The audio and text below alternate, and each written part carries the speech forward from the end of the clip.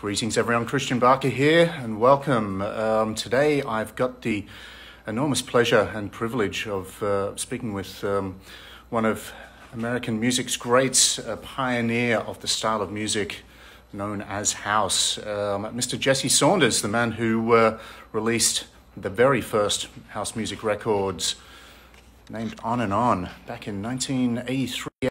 Jesse joining us right now. This is really exciting for me. It's exciting for you too. Here we go, Mr. Saunders. Welcome. How you doing? Welcome. Awesome to be speaking with you. I'm doing okay for for 6:30 in the morning. I'm more of a late night guy than an early morning guy. You're probably uh, probably a little bit the same. Well, that's the that's the time difference. So yeah. that's how it is. So you're you're living in uh, in Las Vegas now. Is that correct? Yeah, I'm between Las Vegas and LA. Okay. Um, how, how do you like it out there on the west coast? West coast? Well, there's no other place to live as far as I'm concerned. very, very, very, good. Now, of course, um, I mean, for anyone who's unfamiliar with you, um, one of the greats of, uh, of, Chicago house music, which originated uh, there back in uh, back in the early early 1980s, and uh, and yeah, you've just uh, released a, uh, a new book called In Their Own Words, um, tracking very much the earliest days of, uh, of house music and, and its evolution from, uh, you know, sort of the transformation from disco music into, uh, into house and, and how things have, have progressed over the, over the, gene, the 40 years. Um, since what was what was the inspiration for uh, for writing this book or for putting this book together? Uh, you know, I've done hundreds, if not thousands, of features and documentaries and TV shows and whatnot, and they're always the same thing. It's always the same people saying the same things, and I just got tired of it, so I wanted to do something different. Okay. I wanted to approach the subject from a different angle and not from the, the usual suspects, so to say. So I didn't want the same celebrity pioneers and, you know, people like myself saying the same things. You know, I've even gotten to the point with my with when people ask me about a doc doing a documentary or, or a feature or something like that where I'm just my usually my answer is no because I know exactly what it's going to be because we've already done it and we've already said it and it's just like why do we need to keep repeating the same things over and over again? Sure. It's just unnecessary as as I'm concerned. So with this particular venture, I wanted to share a different side, which to me would be the most important side, which is which are the people who actually made house music and made a scene for it and made it turn into a, a global phenomenon as we know it today. You know, everyone thinks it's uh, you know, the Louie Vegas and the, you know, Carl Coxes and Tiestos of the world. It's like, no, they they didn't make it. They came along afterwards. They weren't even there at the beginning. You know, it was the people who started to get together at smaller events, smaller gatherings, even high school parties. It's like people want to trace it back to the warehouse and things like that, but that's not really where it started. That was a byproduct kind of of the disco age that you had the warehouse and you had the Paradise Garage and whatnot. But the global phenomenon on house music as we know it today came about because young teenagers who wanted something different or were able at the time you were able to gather in crowds at places and warehouses and lofts and meat packing districts and all kinds of stuff. And there was no curfew, so we could actually stay out as long as we want to. We could play music. There were no cops coming to shut it down. There were no, you know, licenses or nothing. So it was a, a glory day unlike we've ever really seen because now, you know, you have to have a numerous permits and you have to have police involved and medical and all this kind of stuff. And it's like, we didn't have to do that. We just picked up one day and decided we wanted if we wanted to have it at the beach, we'd set up at the beach and have a party all night at the beach. If we wanted to be in a warehouse, we did that. So, in other words, that whole scene developed from people wanting to express themselves with a, a style of music that allowed them the freedom to do so. So, and because you know when I'm talking about disco into the house music age into the rave age and so on and so forth. All of that was founded on the principle that we can set up and dance anywhere we want to. Mm-hmm. You know, yeah. You know, you don't have a, a criminal justice bill yet. You don't have a rave act. You don't have any of that stuff to stop you. So you just do whatever you want to do. So basically, why I wrote this book was because those stories from those people back in those days that, that did that and were able to live that, that legacy, so to say, are the ones that I want to hear the real stories for because how they got there, what type of people they hung out, who they met, you know, friendships that they've made, and relationships that they've had through the years that have led them to whoever they are today, and what they've done in life, and so on and so. Those are the real stories of house music. It's not what DJ played for what crowd, and did, who cares? We see that every day. I want to hear your your story. You know, where did Christian Barker first hear house music? Well, I'm way more interested in that. Oh yeah, and, and, and, and, it's interesting that you you know you point out that it was about um, about young kids. You know, I, I probably first got into uh, house music at, at, the age of 15 and sort of or 14, 15, like 1989, 1990, and that was in Sydney, Australia, going to and a lot of it was you know illegal raves in in warehouses and things, and I was obviously deeply underage, um, and there were also mm-hmm. kind of underage club nights where uh, where the music was being um, was being played as well. But the thing that blew my mind reading the book, and as you know, I've I've read the book over the over the last week, um, was as you say, you know, some of these earliest parties we've all heard about, you know, the warehouse and stuff, um, but it was it was it was the parties at, at Mendel's Catholic school, you know, where you had um, you had the, the priests and the nuns. I think one of the stories were were, were on the door collecting the money from these, you know, um, little teenage kids who were coming to this uh, this underage party, and that was one of the, you know, the, the well springs of, of this culture. Amazing. Oh yeah. Well, you know, again, in those days, you didn't. I mean, one of the stories in there by Stephanie Johnson. She's originally from Chicago, and she grew up in that scene. Says that it, it kind of summed the whole thing up for us. We were teenagers and we were allowed to live like adults. We could stay out all night. Your parents didn't worry about you because you knew you weren't going to get into anything except you'd be dancing with your friends all night. So it wasn't like, you know, you had to be in at a curfew or a certain hour and you had to do this. I was like, just go have fun, you know, and you can't really do that today. It's kind of like you have to have all of these things and restrictions in place and parents are constantly worried about you. And, you know, probably so because this is a different world now. It's a, a more dangerous world, so to say. Back then, we didn't have a care in the world, and nothing happened to anybody, so we were fine. Yeah, that's pretty good. That's pretty good. Well, yeah. how, particularly, I think you know, living in, in Las Vegas, um, it will be it will be very clear to you, you know, that that this this music, you know, I, I suppose now has has kind of evolved a lot of it into into this sort of EDM culture with these uh, you know superstar DJs. How has it been for you? Observing um, this this this culture, this music, you know, really evolved from back in your earliest days, you know, super kind of DIY basement, um, do it yourself, kind of very very scrappy into into this thing where you know now you've got, as you say, DJs like like a Tiesto or Calvin Harris or whatever, Chainsmokers, whatever, and these guys are making like twenty million, forty million dollars a year, crazy, crazy. Uh, sums of money. Did you ever dream that it would uh, that it would uh, evolve into into what it is? Well, no. I mean, how could you possibly? You know, um, I remember when I first started as a teenager as a DJ, you were stuck in some closet in the back somewhere, and you played for six, seven, eight hours, and you made fifty dollars if you were lucky. So you know, nobody cared about the DJ. You were just someplace where they came and asked for a request. You know, was like if they even paid any attention to you at all, basically.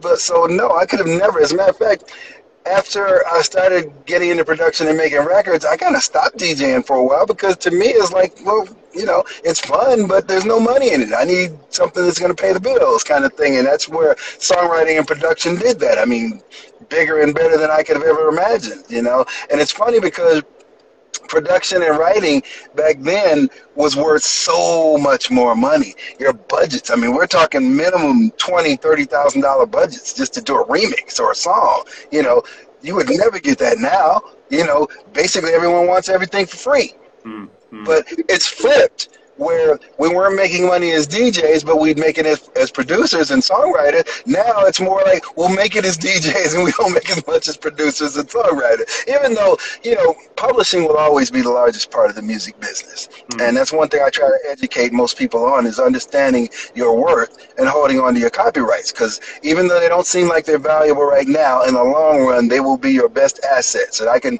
truly say that from a standpoint of you know, some of the songs that I wrote and hits and some that have been platinum or gold or whatever 25, 30 years ago are still paying me today. Mm. You know, and it's you know, you look at something like a quarantine or where people are losing jobs, especially, you know, music people, it's like, how are you going to survive? Well, I'm good. If I never made another record and never did anything ever again in life, I'm fine just because of my back catalog, you know? So it's really important that people understand the worth of their copyrights because most people don't know that side they, they just want to make a track or they want to make a remix and put it out or whatever. And it's like you really need to understand the word and know it probably won't pay you right now, but if you can hang around for 10 years, it'll probably be worth a whole lot more. Yeah, that's your 401k, you know? Yeah. Mm-hmm. My, my, my eldest daughter, who's only 11, um, but you know she she wants to grow up to be a um, a musician, a, a performer, and, and I always say to her, the most um, you know, you got to have that publishing. That's all about. Right. Mm-hmm. That's what God, the sun, sun is crazy. Go ahead. um, the uh, you, you, know, look.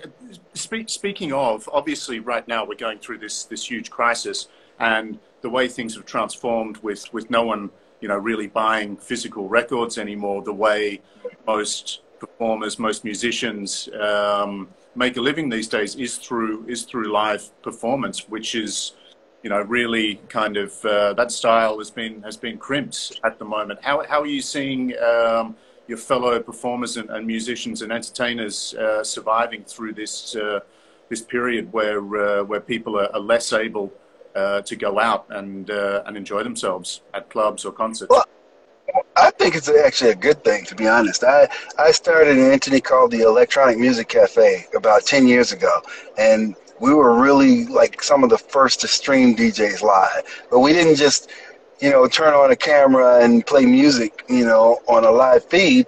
We included art, artists, models, you name it. And we made it part of the whole scene where we even like incorporated art on the, the movements of the hands or arms or body of the DJ playing music. So it, it seemed like a whole piece of art that was playing music and whatnot. It took a, a whole lot more back then, obviously, a lot more equipment, a lot encoders and so on and so forth. It wasn't like you just plug in and turn on your live and, and you're now live. It took a lot of production value where it's simple now, but it was fun. The only problem was it was there was not really much of a way to monetize it yet. I mean, there was, but to get people to tune in and actually either pay for or donate was like very difficult in those days. Now it's kind of a standard, especially with, you know, like with this quarantine going on. Most people put up their Cash App and their PayPal link and whatnot, and people would donate.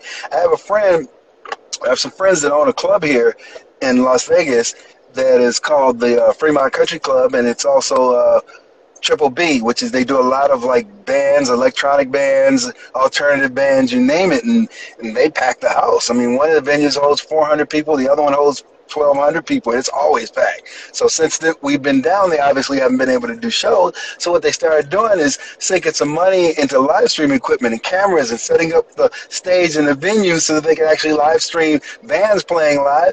And some of these bands now, they're they're getting twelve, thirteen, fifteen thousand dollars just donated for them playing. So they're actually making money now. And I think for me, especially at this stage of my career where you know I've pretty much flown and been everywhere. So it's not like I feel the need to have to go back there anymore. It's like I can just as soon stay home in my own studio and just broadcast live and I'll be perfectly happy. So for me it's, it's great because they've asked me to do the um, the house music channel on there. So I'm now in the process of trying to figure out how to get some good content because we want a lot, a lot of live content. Of course some of it will be pre-recorded or whatever but I want show. I'm not really interested in DJ Sets. Everybody's doing that. So we don't I don't want DJ just playing music because you also run into another problem which a lot of live streaming DJs have, have learned, which is copyright infringement. You're playing other people's music and you don't have a license, that's copyright infringement. They're all like, why are they stopping us and taking us down? It's like, because you're playing my music or, or whomever else's music and you're not paying for it. Well, why should we have to pay for it? I already paid for it when I downloaded it. It's like, no, you didn't. All you did was bought the right to be able to play it for yourself. But if you play it for other people, then that's another license. And they don't understand that, you know? Yeah. yeah no, the question that I that I had for you is, um, you know, with with everything having transformed, uh, you know, first into MP3s um, and now into into streaming.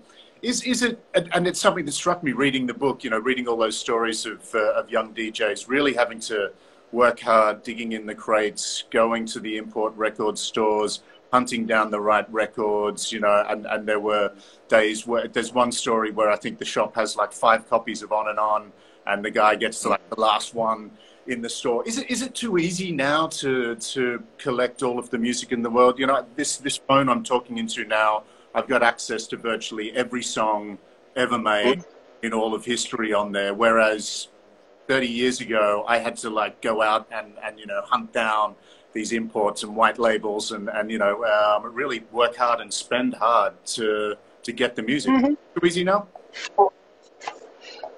Well, I mean, I love it. I love the fact that I don't have to drive to a record store, find parking, sure. go through hundreds of records to try to find the one that I actually like. And I love it because now I can just sit at home and just go through this, stream a little bit of that. Nope, don't like that. Go to the next one. Nope, don't like that. Like it's a lot easier. So I, I actually like it.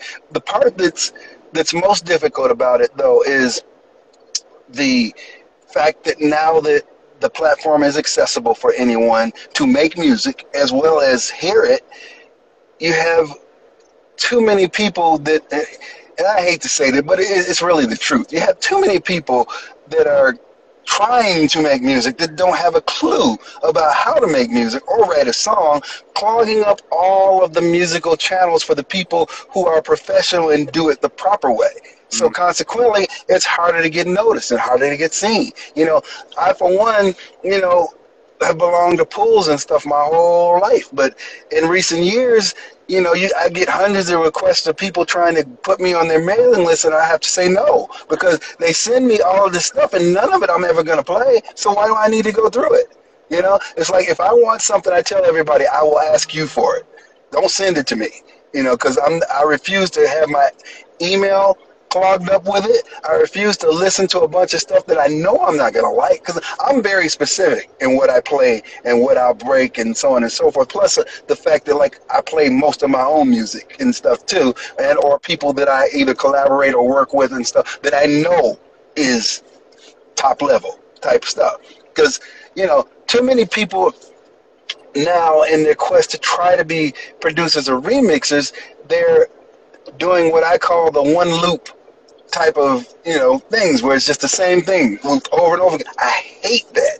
It's like uh, have some creativity. Give me some sort of progression. Give me some peaks and valleys. Set me up. Take me on a ride. If I don't have that, then the answer's already no. If you don't do that. You know, I don't care how good a song or what great. If you don't give me that, I'm just not gonna play it. Simple as that. You know, and I have like my global house show I do every week, and I've pretty much featured 95% new music. I don't play old stuff because to me, and, and the whole ideal of me being a DJ my whole entire career was always to break new music or get my audience into something that's new and fresh and more progressive or whatever and to give you new ideas. I don't need to sit there and play the same thing over and over again. There are hundreds of thousands of DJs that will do that for you. Not, don't come listen to me for that because I'm not going to give it to you.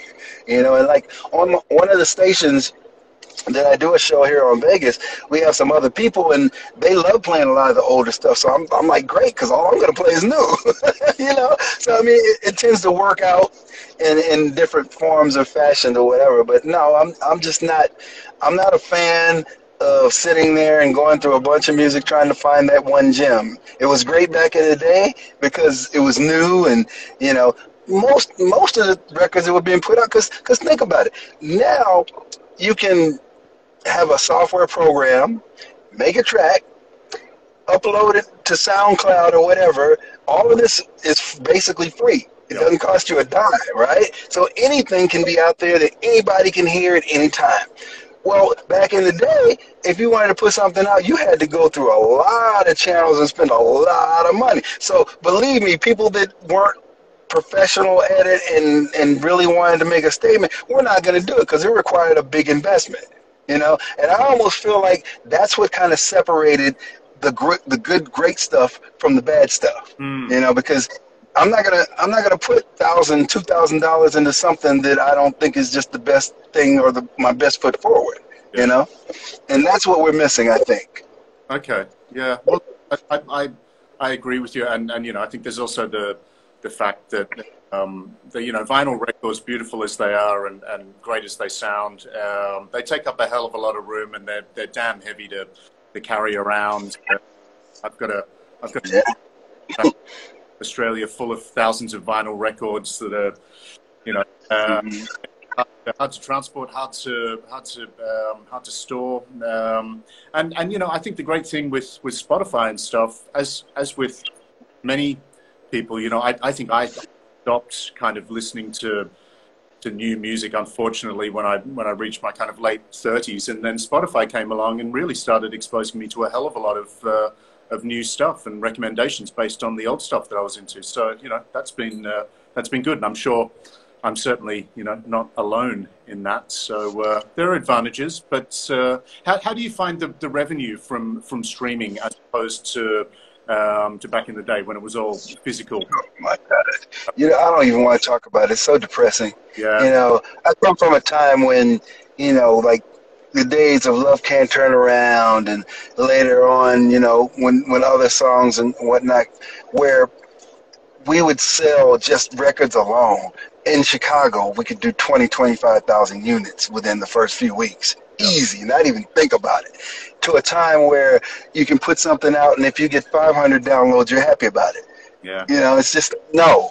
You know, my, my BMI checks Broadcast Music Incorporated, which is a performing arts organization. I've been with them for 30 years. And I've seen my best times were the late 80s, the 90s, into the early 2000s. I noticed a noticeable drop in my royalties from about 2005 to about 2010. I mean, like a noticeable drop because, you know, I've done lots of film, TV shows, and things like that, and that's where the real money is, is in licensing, sync licenses, and things like that. And I've done tons of those. In those days, my BMI checks, they come quarterly. I mean, we're talking five figures easy every time I get one a quarter. And I've gone from that to barely if I get four figures, I'm lucky. Right. So that's a very noticeable drop, and it, it really pisses me off. Is people don't understand where I'm coming from, especially the you know more new school producers and DJs. You know why I'm so adamant about copyrights and you know and and performing rights and things like that. And they're thinking like, well, you know, we uh, the new age is we sample stuff and we take this. I was like, yeah, but you still aren't doing it legally. Mm. It, you can't just take someone's stuff and reformulate it and cut it up and say it's yours. It's not yours. It's theirs. Yeah. It's whoever wrote that owns the copyright to it. Well, no, I repurposed it. I'm like, yeah, but it's still somebody else's thing. Now you take something that you made and do that, and it's fine. But you can't use other people's other people's intellectual property without paying them for it period. So I've been, you know, involved with a lot of the rights organizations and the copyright things. To, I mean, you look at Traxsource and, and Beatport. That's all that's on there is sampling somebody else's thing and making something different for the most part. And people, the the part that I that I get the most pissed off at is that they take somebody else's thing and then they put their name on it, and you see no no recognition, no copyright, no publishing, nothing of the original songwriter and publisher. Yeah, yeah. You know, and they don't they don't understand it. That's not right. They think that oh, that's the way it's done. It's like no, you're that's copyright infringement. And if I got a real bug up my butt, I'd take you to court and sue you. But you're just not making enough on it for it to even warrant that. I mean, I've done it a couple of times to people just to prove a point for the principle, but it costs me more money than I'll get out of it. But it's really all it's going to be cease and desist. Those examples mm-hmm. go right back to you know even even a song like Black Box, Ride on Time, where I remember you know mm-hmm. they were there denying they were saying no, this isn't Loleatta Holloway, and it was like guys. It's it's pretty obvious. Yes, it is. yeah. yeah. I mean, I, I've had people I've had people ask me questions like, well, if you only use like two seconds of it, then that's legal. It's like, no, it's not. You're still using it. You can't use any of it at all without the permission of the songwriter or publisher. Period. You just can't. Precisely. Well, you know. James Brown had, had sort of teams of lawyers uh, in that early period of sampling out there finding those those two second drum breaks and saying, "Pay up, please." Um. I've had just real quick. I've had I've talked to George Clinton, and I've talked to people like Holland Dozier Holland, who've written you know numerous hits from Motown to the Funk Age, you name it. And they said their best time in the business has been since people started sampling. They said that's kept their catalogs going for so long. It's just unbelievable because what they do is you know they already made money off of the songs, and they're still getting big royalty checks. So people started using it, and they same thing. They, they hire lawyers and they hire people they would call um so, what do they call them? Song well song monitors. That wasn't the term, but just for lack of a better word, they would just all anything that came out, they would just sit there and listen. All anything that was on the charts and everything. As soon as they found one thing that sounded one bit familiar, they would go after them and sue them. Yeah. And then of course whoever owned it would have to relinquish the rights to it because if you clear it ahead of time then you could probably get a 50-50 deal, mm. you know, out of it where you can still get some of the publishing and writer's credit. But if you do it afterwards, you're going to have to relinquish 100% of it, period. And you might have to pay a fine because of it. It's, so, and I've been an expert. I've been an expert witness on a lot of copyright infringement cases. So I've seen it all. no, it's, it's the same as uh, better to better to buy that candy bar from the store rather than shoplift it. You'll uh, you'll get in a lot more trouble for that. Exactly. now, talk a little bit about uh, about Chicago and, and, house music's roots in Chicago, which is obviously you know deeply um, covered in your in your book in their own words. Um, and I think the other thing that's that's really apparent in this book is that you know talk about the the the origination of of house music, but what is really apparent in the book is that it's all of these things are an evolution. You know, you talk about the evolution from kind of Motown, R&B, soul, and that transforming into into disco, and then disco sort of transforming into uh, into house music. Um, and if we want to go further back, of course, you can talk about blues, jazz, etc., which transformed into into the R&B, soul, and, and, and, Motown. So you know, it's a it's a huge, long progression. But I think mm-hmm. the interesting thing is that Chicago was the town which had the famous disco destruction rally in, in 1979 where everyone was like, disco sucks, and, that everyone said, disco is dead. Um, and yet, you know, if, if you look at house music or electronic dance music today as a progression on disco, disco was stronger than ever, right? And well, yeah, and I mean, people, I think, take that whole it's the disco demolition thing has really been blown out of proportion because honestly, it didn't affect anything or anybody. Disco kept on doing its own thing, which is how we got the house in the first place. It it was something. There was a story, you know. Media latched onto it, but who cares about the media? Disco and house have never been concerned about the media. I mean, in terms of how they push out what the sound is. It's like we've always had our sound, and we're always going to have our sound. We're always going to have our movement, no matter what you know commerciality talks about. How good, big, or small, or whether it's working or whether it's not. It's always going to be there period. And that's the thing. It's like, from a commercial standpoint, a lot of people, when I've done documentaries and features, they always want to talk about disco demolition because they, they like the story of out of the ashes of disco demolition came house music. They love that. That's a, that's a great tagline for them. But unfortunately, that really wasn't what happened. you know, what happened was, you know, disco had its movement, you know, and, and of course, disco comes from the word discotheque just so everybody understands. It's like it's not something that just became a jazz or a blues or a rock. It's like somebody shortened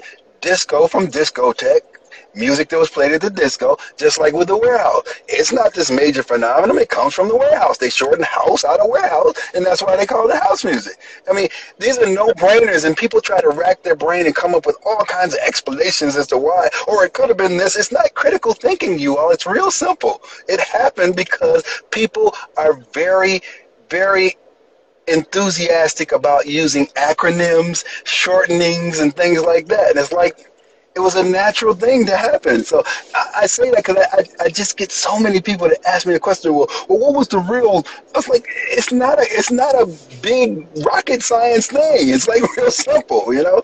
But anyway, get back to your question. The whole thing with disco was just kind of a, you know, it, it, thrived in the gay clubs and things like that. You had the LB, LGBTQ community that was very supportive of it. You know, a lot of times people want to say house came from, you know, the warehouse and all those clubs. It didn't really come from there. You know, honestly, where it came from was young teenage boys and girls in high school that were exposed to this sound. Because think about it. If something happens in a club that holds 150, 200 people, right?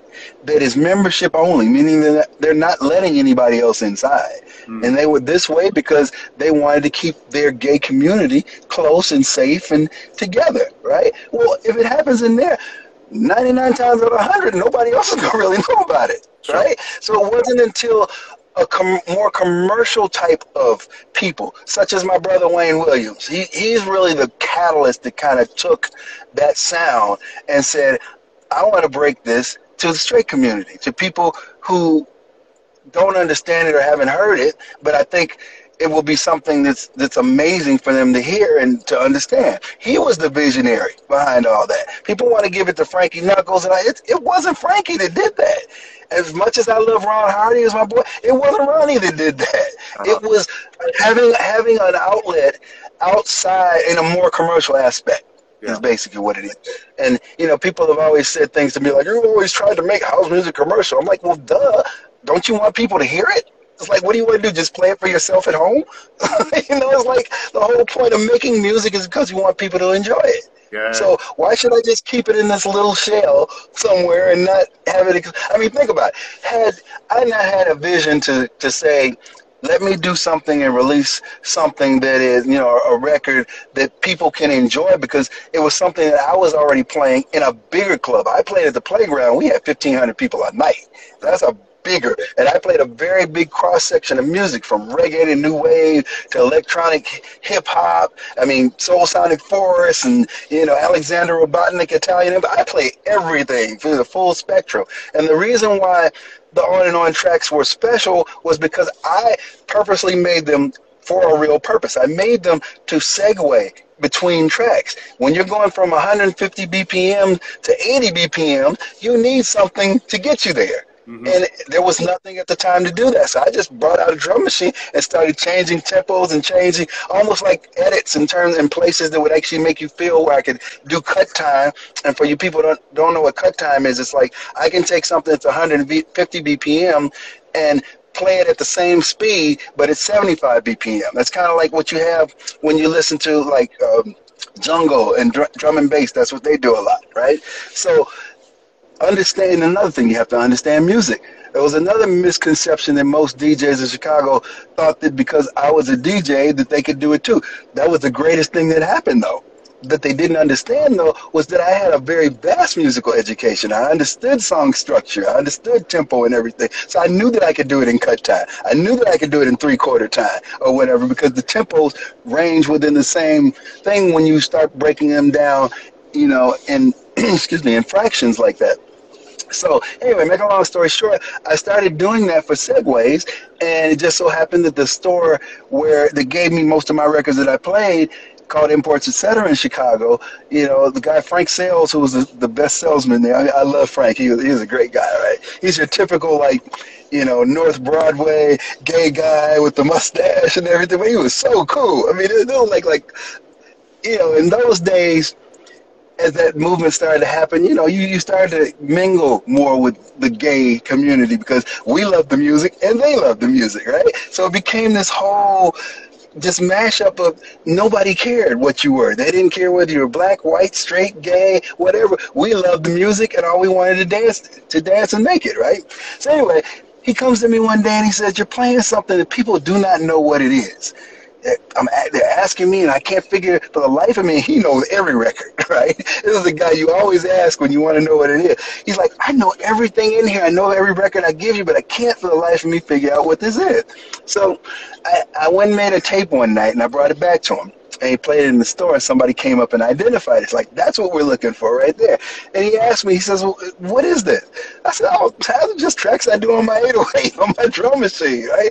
And he's like, well, if you could get some of these pressed, we could sell hundreds of them because people are just asking like after right. And I was like, ding, little bell goes off in my head. So I'm like, you know, let me figure out how do I press records. So that's when I, I around the time that I met Vince Lawrence, and his father had a label called Mitchbal, and he had done a record for his high school graduation. His father let him go in the studio called Fast Cars, and in his words, he said he was trying to make music like what I was playing. It just didn't come out that way because the drummer played too fast, and he had more of a ear like a new wave style because he wanted to be a band and the whole nine yards. So it, it became out being more of a new wave type record as opposed to a, a soulful or funky disco record, like Can't Fake the Feeling or, you know, those kind of things at that time. So anyway, I said, well, you know, that's great, and I, you know, I'd play his record every now and then because I didn't know anybody that made a record before but him, right? So I was like, cool, let me see if I can break your record and everything. So consequently, he kind of like he became my light man eventually, and which was great because at that point I could really pick his brain. And he took me over to see Larry Sherman at Precision Record Labs, which was the only pressing plant in town, and said, this is how you do it: make labels and they make stampers, masters, blah blah blah. Records come off, we shrink wrap them, put them in covers. I was like, God, perfect perfect. So I went over. My first run was 500 copies. I took 250 over to imports, etc. Gave a copy to you know other key DJs in town, like the Hot Mix Five was big on WBMX at that time, and so on and so forth. Put up posters like we would do for the parties and whatnot, and that record took off. In two days, they were ordering more.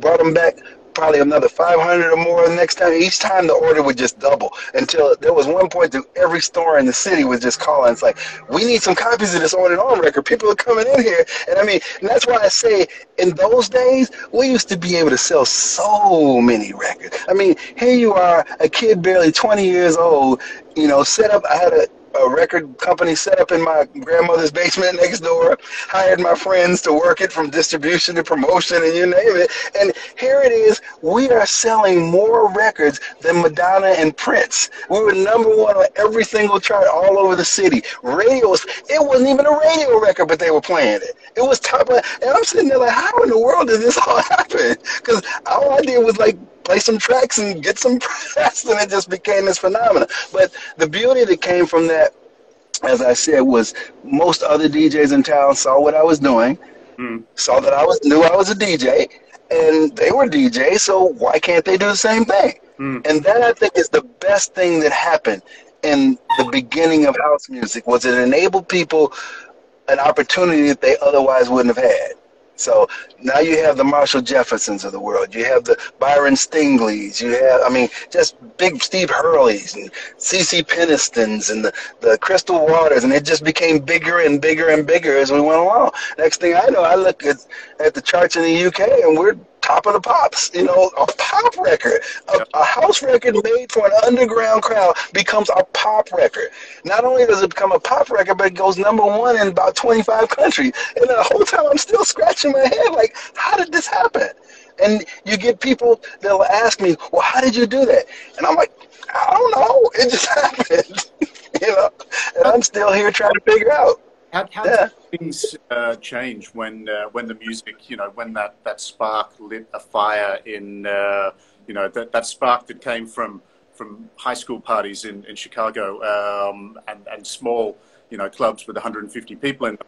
Suddenly it's getting, you know, on the pop charts in, in the UK or Germany and, and Italy, and the music is, is then being uh, being made and reinterpreted by people in uh, in other countries, you know, over in over in Europe or, or, or, Britain, whatever it may be. How how did things evolve at that point or change um, when it when it went international? Well, for me, I I started obviously the the first record on and on was January of 1984. So between that time and I'd say May or June of 1986 when we had just completed Love Can't Turn Around, I had started Trax Records, Dance Mania Records, and had outlets for all all DJs to put their stuff out I was doing probably 10, 15 records at a time under different names because I didn't want everything to be Jesse Saunders or whatever. So that movement was going on like in building real quickly. So by I'd say when Love Can't Turn Around was released in I think May of '86, I got a record deal. I think that same month mm. with Geffen, Warner Brothers. Yeah. And for the next few months, I was in the studio. I wasn't really DJing or doing anything anymore because I was constantly trying to, you know, produce and write. And then I moved to LA probably the, the end of 86 and we went on we actually went on a 20 29 city tour of the UK in October of that year when Love Can't Turn Around reached the top of the chart wow. and top of the pops rather.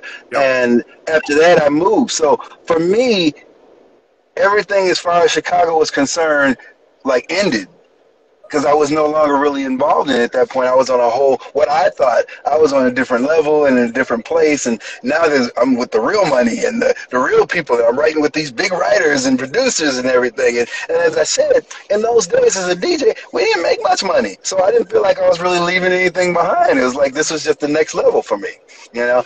So a lot of things happened in those years that I was in LA from end of 86 to the end of 89 so about three years, a lot of things happened, you know, that I wasn't really around or privy to because I really wasn't paying attention. Because unlike now, where we're connected through the internet and whatnot, we didn't have a way to be connected then. So what was going on in LA with me was not heard or known to anyone that was going on in Chicago and vice versa, you know. So when I came back for about a year and from 89 to the beginning of 90 it was a whole new and it, even changed then. Now acid was a big thing. Now hip house with rapping it was a big thing. It, it changed completely.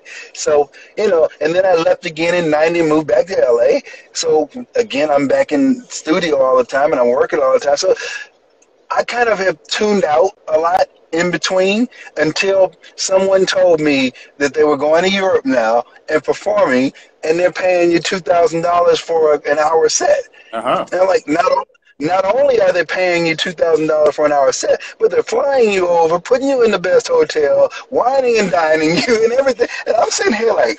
How did this happen? And how can I be a part of it? So I, I started touring again in about '94 and never stopped since. But it was like I said, there was there was a good eight year period where I was kind of tuned out in terms of the DJ world. Okay, okay. Yeah. I, I, I, realize that we're, that we're running out of time, and I think you know it's important. Um, obviously, the world and the United States in particular is going through quite a period of, uh, of disunity and uh, disharmony. Um, and, as you were saying a couple of minutes ago, you know, house music started out as this as this really amazing um, means of, of bringing people together. Whether that was, you know, originally states is bringing together gay and straight, black and white, all races, all sexualities, all genders, etc., um, creating unity. The same thing happened in the United Kingdom. You had people who were, you know, soccer hooligans, really violent guys who suddenly became, you know, much more friendly and we're hugging each other on the dance floor and all of that sort of thing. Um, and, and, you know, we just had uh, a few years ago after, after Frankie Knuckles passed away, um, the president of the United States, Barack Obama, you know, came out and said, Frankie's work helped open minds and, and bring people together, which I think, you know, that must blow your mind when the president of the United States is talking about this type of music, which, uh, which you've helped, helped. But is it, my question well, hold on. Let, let, me let me let me say something to that before you go on. Behind every story is another story. Okay. So let, let me give you a piece that most people wouldn't know about that. Right? Okay. So as a teenager, growing up, freshman, sophomore, junior years, there were certain schools in the city Whitney Young, Kenwood, University of Chicago High School, Mendel, so on and so forth that you'll hear about. You, read, I'm sure. that where these kids whose mothers and fathers were judges, lawyers, doctors, politicians, you know, the more upper middle class kind of vibe that were more entitled and so on and so forth. Those were the people who spread house music. Okay? And because of that, you have people like who we now know as Michelle Obama. Uh-huh. Yeah. Who was not she wasn't an Obama then obviously she was another kid going to Whitney Young who used to come to the parties and hang out with her. So we've known Michelle the whole time, long before she ever got with Barack, right? And when she did get together with him and they did become a couple and get married and so on and so forth, Barack was part of our scene too. Barack was a, a house head long before everybody knew he had anything to do with house. But we knew. He was there with us. He was hanging out the whole night. So when you look at something like he recognized Frankie and whatnot, it wasn't that he recognized Frankie because he wanted to. Rec- that that wasn't his thing. What he did was Alan King, who was my brother in the Chosen Few, and Barack are best friends. Uh huh. Okay. Alan has always been really tight and close to Frankie. That's his person. So when Frankie died, Alan wanted to give him a tribute.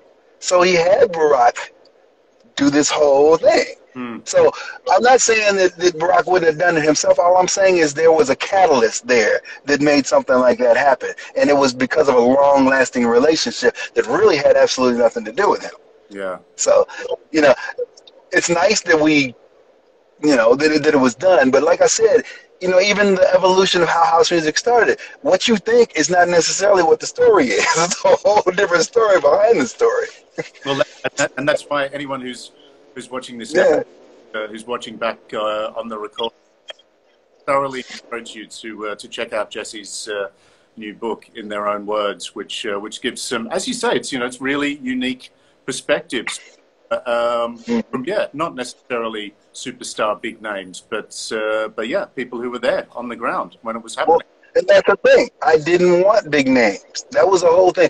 Everybody, I, I tell you, my editor, my publicist, everybody else. Well, who are some of the names that are in this book? Because you know they're always looking for something that they can use as a tagline or who's in feature. I was like, there aren't any, and they're like, huh? It's like um, there aren't any.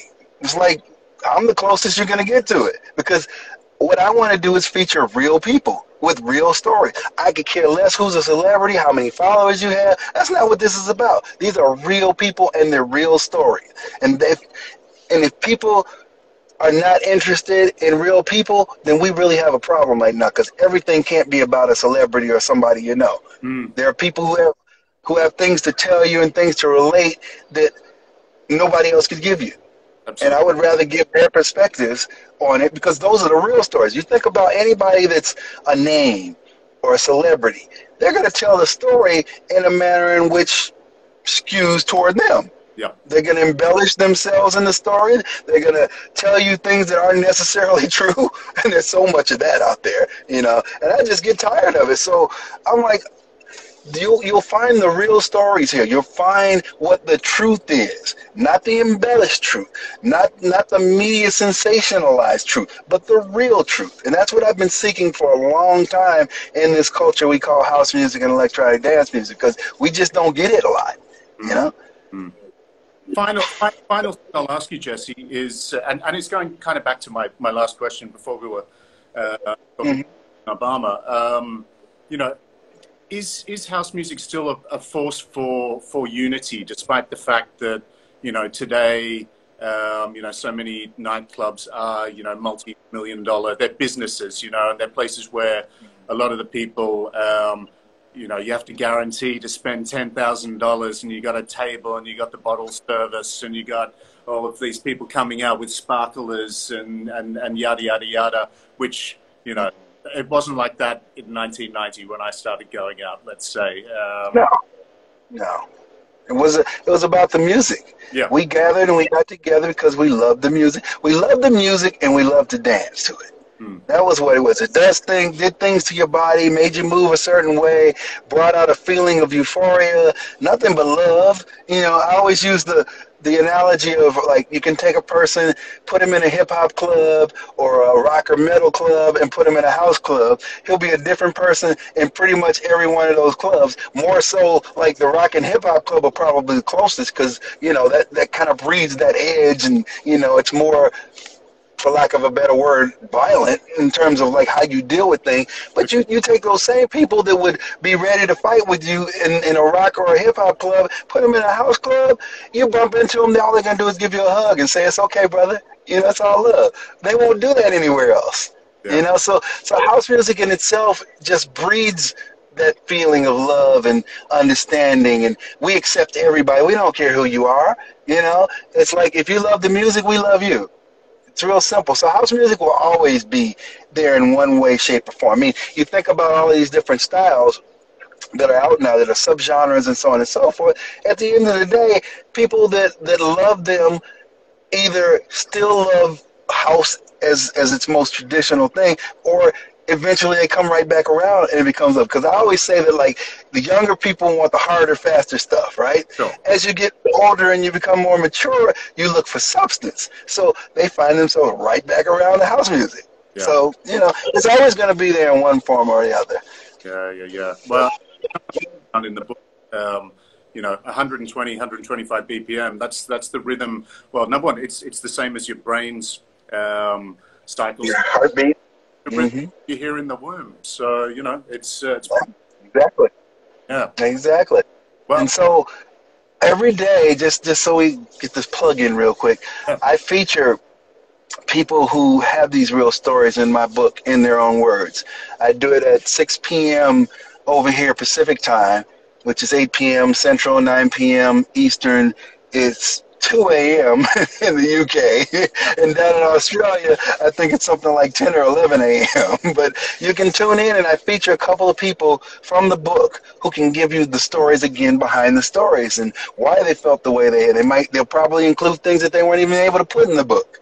But it's nice to have those conversations with everyone, and they're from all over the world. So you're not getting just one perspective of one place, you're getting many different ones. But the thing that, that occurs within that whole whole whole hour of what we do is that you start to hear people talking from their heart things that really affected them, changed the course of their life.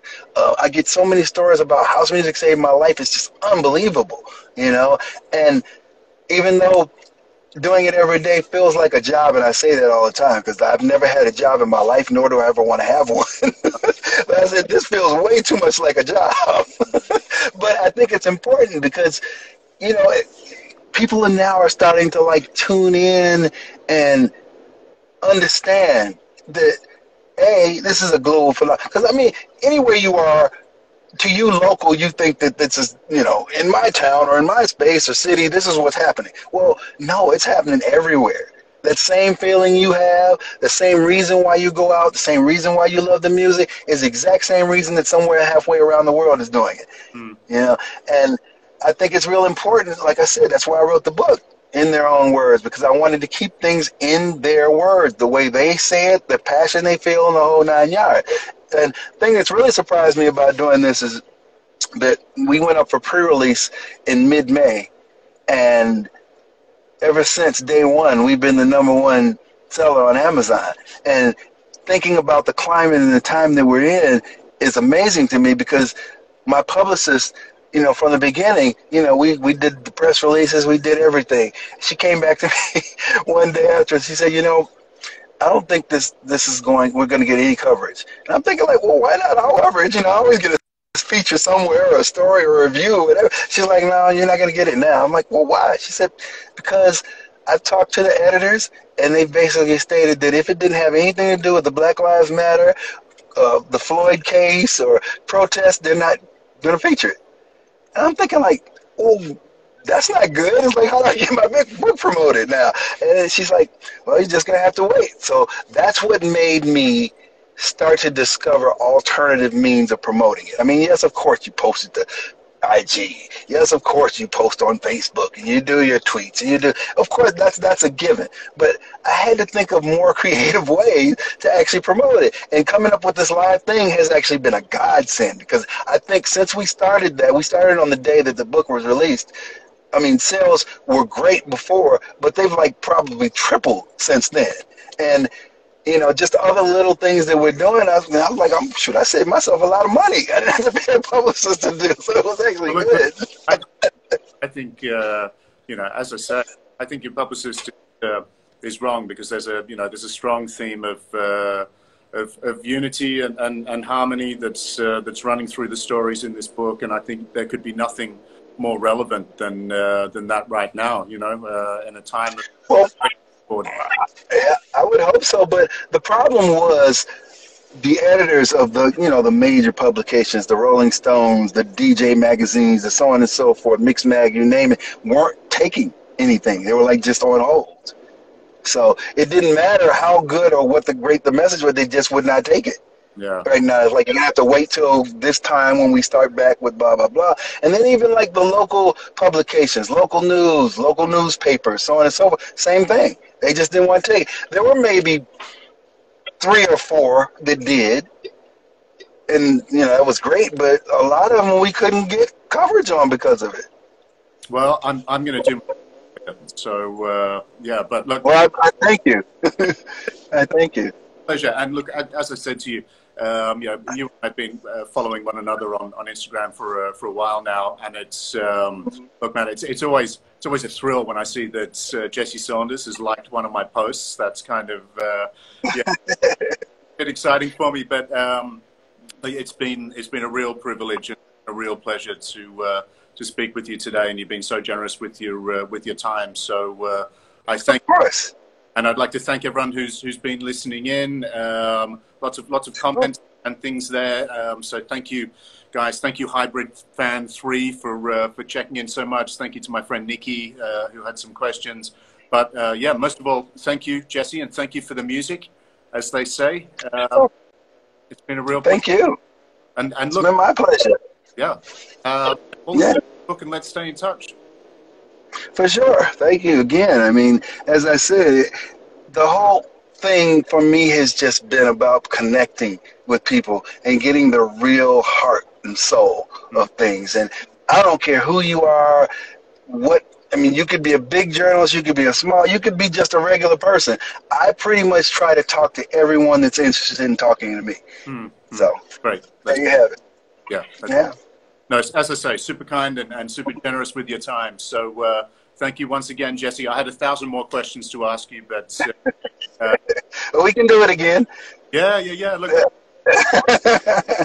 probably uh, and we'll touch base on that. But uh, yeah, once again, great pleasure. Take care. All the best, and thank you once again to uh, everyone who's uh, who's tuned in today or who's watching this on the on the recording. Thank you. Yeah, thank you, everyone. Peace. Until next time. Yeah, peace. Exactly. Take care. Oh, we need it. All right. Take care. Bye bye.